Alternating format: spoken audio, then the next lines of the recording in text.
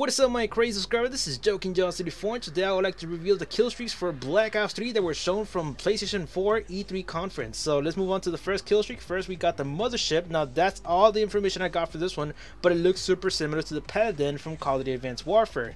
Next we got the care package, we all know what it is, and um, next up we got ourselves the Lightning Strike. Now the Lightning Strike is coming back which is super good because I do kind of miss it, and it's super accurate, so we don't need none of that bullshit from like the stealth bombers because that one's super annoying.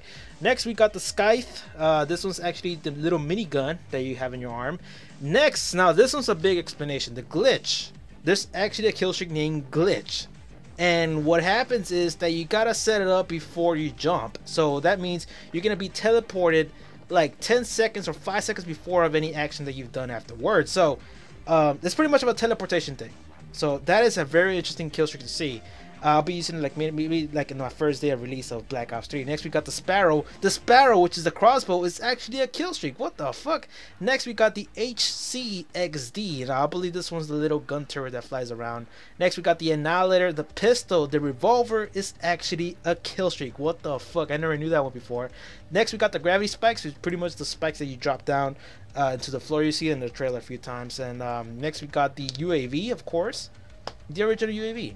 So those are the kill streaks that were revealed during the uh, the E3 trailer.